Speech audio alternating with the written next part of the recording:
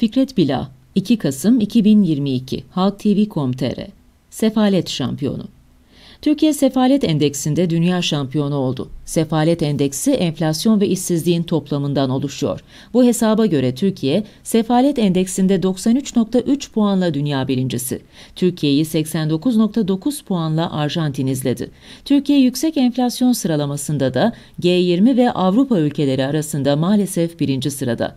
Türkiye İstatistik Kurumu'na göre %83, enflasyon araştırma grubuna göre %186 enflasyon var.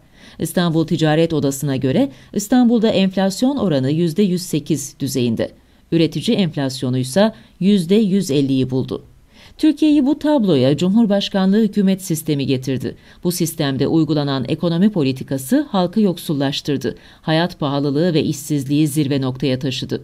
Cumhurbaşkanı Tayyip Erdoğan 2018 seçimlerinde vatandaşa bu kardeşinize verin yetkiyi faizle, enflasyonla nasıl mücadele edilirmiş görün diye seslenmişti. Seçmen de Erdoğan'a yetkiyi verdi.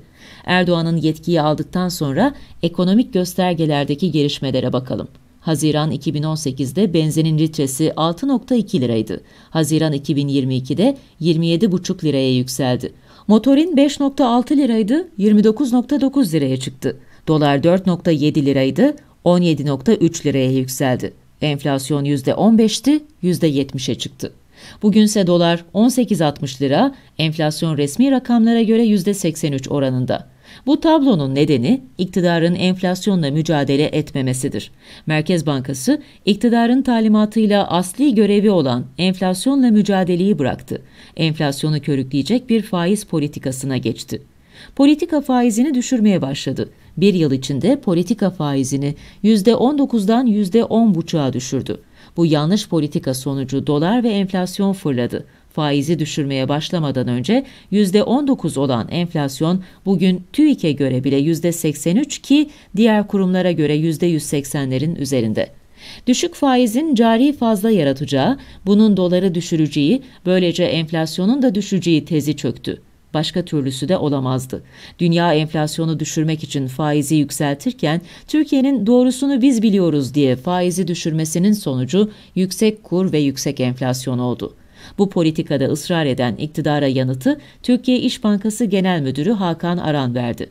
Artık biz ekonomi modelinin desteklediği sektörleri bile destekleyemeyecek noktaya geldik.